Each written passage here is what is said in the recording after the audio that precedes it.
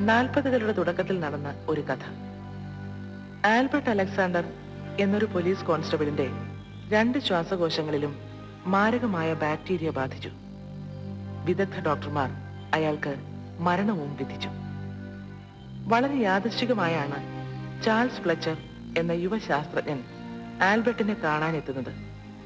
ഈ സമാഗമം വൈദ്യശാസ്ത്രത്തിലെ ഏറ്റവും വിപ്ലവകരമായ കണ്ടുപിടുത്തത്തിന് വഴിതെളിച്ചു. ഈ കഥ നടക്കുന്നതിന് ഒരു ദശകം മുൻപ് തന്നെ അലക്സാണ്ടർ ഫ്ലെമിംഗ് പെൻസിലിൻ കണ്ടെത്തിയെങ്കിലും അദ്ദേഹത്തിന് അത് വേർതിരിക്കാനായില്ല.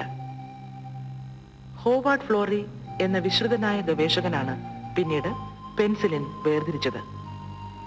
അങ്ങനെ ഇരുന്നൂറ് ഗ്രാം പെൻസിലിൻ ഫ്ലെച്ചർ രോഗിയിൽ കുത്തിവെച്ചു. മരണം കാത്തിരുന്ന രോഗി അഞ്ച് ദിവസം കൊണ്ട് ഏറെക്കുറെ സാധാരണ നിലയിലായി. എങ്കിലും ഈ കഥ ശുഭപര്യവസായി ആയില്ല. കരുതി വെച്ച പെൻസിലിൻ തീർന്നതിനാൽ മാർച്ച് പതിനഞ്ചിന് ആൽബർട്ട് മരിച്ചു. സ്ട്രെപ്റ്റോകോക്കസ് സ്ട്രെഫല്ലോകോക്കസ് എന്നീ ബാക്ടീരിയകളാണ് ഗുരുതരമായ ഈ രോഗത്തിന് കാരണം. മുറിവുകളിലൂടെയാണ് അണുബാധ ഉണ്ടാകുന്നത് യുദ്ധരംഗത്ത് ആയിരക്കണക്കിന് പട്ടാളക്കാർ ഇത്തരത്തിൽ മരണമടയുക പതിവായിരുന്നു.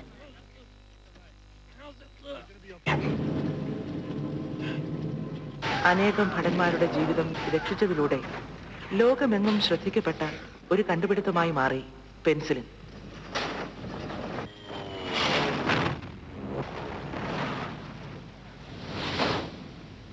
പിൽക്കാലത്ത് പ്രത്യേകിച്ച് രണ്ടാം ലോക മഹായുദ്ധകാലത്ത് കോടിക്കണക്കിന് മനുഷ്യജീവൻ രക്ഷിച്ച് പെൻസിലിൻ ഒരു മരുന്ന് എന്ന ഖ്യാതി നേടി.